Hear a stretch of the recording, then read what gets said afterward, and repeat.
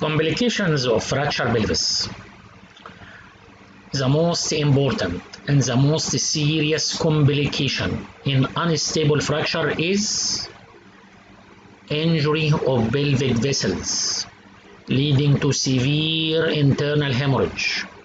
In unstable fracture pelvis, the patient may lose two or three liters of blood and severe shock as usual.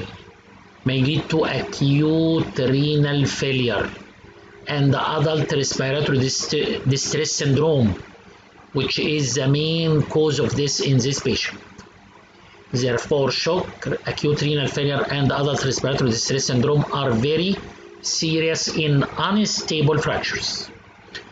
Also in unstable fractures the bone moves displaced visceral injuries are very common. Like what? This is the urinary bladder covered with peritoneum. If there is a fracture in the anterior arch, this lead to injury of the anterior of the bladder and this is called extra peritoneal rupture of the bladder because leakage of urine is outside the peritoneum cavity. This is the peritoneum. This black line. And the peritoneal cavity is closed and the leakage here in the pelvic cellular tissue. This is extra peritoneal rupture of the bladder or rupture of this. What is this? Symphysis pubis or pubic bones may displace backward leading to rupture of urethra. And this rupture of urethra inside the pelvis and called intrapelvic rupture of urethra. There may be also injury of this. What is this? Injury of rectum or anal canal. Injury of blood vessels injury of pelvic nerves, especially sciatic nerve. General complications are very, very common in this patient. Besides shock, there is also complication prolonged bed rest, DVT, bed sores, etc., etc. Um, in case of uh, fracture pelvis, there may be vertical instability. If the bone displays the upward and heal like this, the length of the lower limb becomes shorter. And if malunion occur, permanent shortening of the lower limb may occur sure uh, affection of uh, pubis, sacroiliac joint. This may lead to secondary osteoarthrosis. If there is uh, bad healing of fracture pelvis and disturbance in the body weight transmission, also osteoarthrosis of hip joint may occur. Um, what is the clinical picture of patient with fracture pelvis? First of all, this is a major severe trauma. General examination and the careful assessment, ABCD. And look to the gluteal region and the flanks of the patient. If there is severe contusion in the gluteal region and in the flanks and the upper part of the thigh, scrotum. This indicate severe bleeding. Therefore, contusion, swelling in the flanks gluteal region, this indicates severe hemorrhage. Um, always there is a history of severe trauma with uh, pelvic pain and tenderness. Ask the patient to stand. If the patient can stand, this means that body weight transmission is still normal. and the pelvic ring is integrated and this is a stable fracture but in unstable fracture ask the patient to stand never I can't stand um, signs of unstable fracture is very very important. Signs of instability first of all the lower limb. If there is external rotation of the pelvis as open book there is external rotation of the lower limb with the pelvis and if there is vertical instability shortening of the lower limb therefore external rotation of lower limb means open book deformity and rotational instability. If there is shortening this means vertical instability. Manual stress test is very important manual test compress the pelvis from the sides if you discovered that there is yielding of the pelvis the hip bones and the pelvic bones are yielding. There is a slight mobility. This means instability of the pelvis.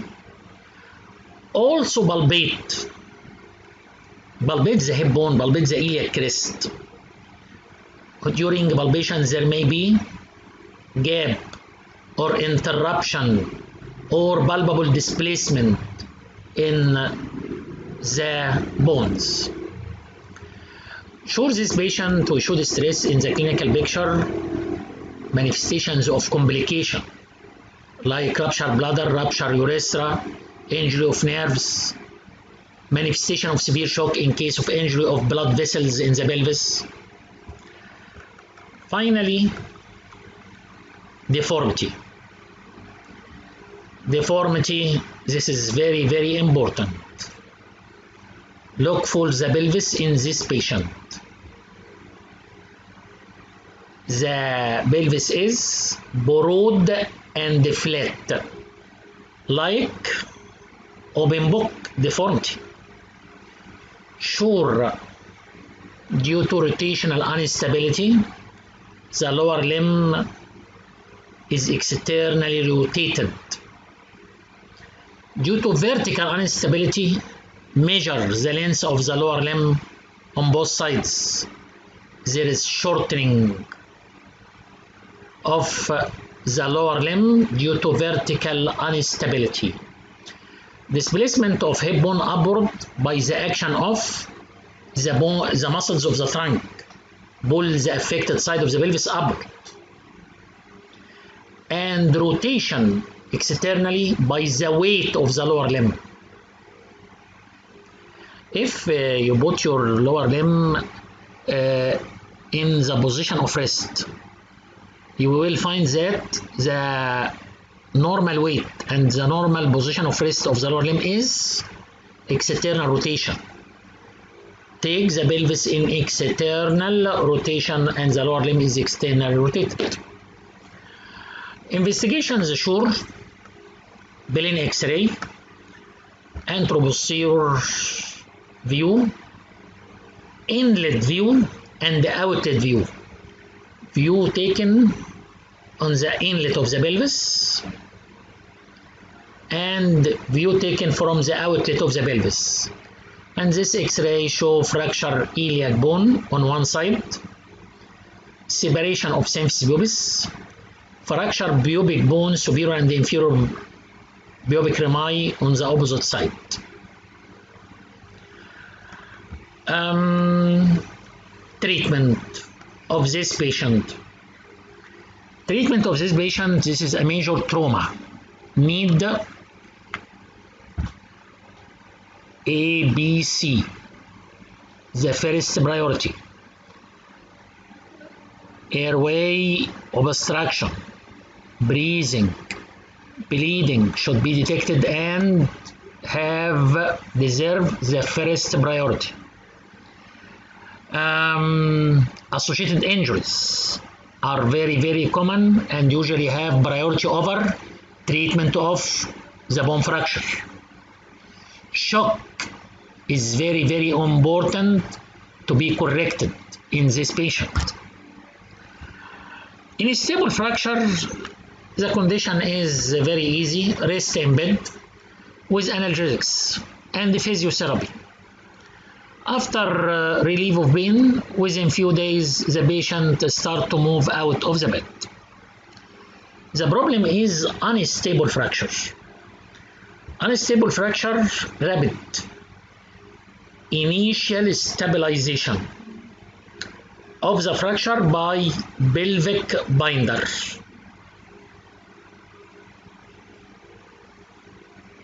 If this is not sufficient and efficient, stabilize the pelvis with external fixator. Why initial stabilization is very very important. The book is opened and the raw area of the bone is bleed. I want to close the book so that pressure of the two halves of the pelvic ring will help to control bleeding. If initial stabilization is not enough to control bleeding and there is vascular instability, urgent angiography to see the bleeding vessel and therapeutic embolization of the bleeding vessel to control bleeding. If all the previous measures fails to control bleeding, urgent exploration, backing in the pelvis, and surgical hemostasis. Finally, this is the treatment of unstable fracture. Open reduction and internal fixation. This is a fracture pelvis. Thank you for good listening and good luck.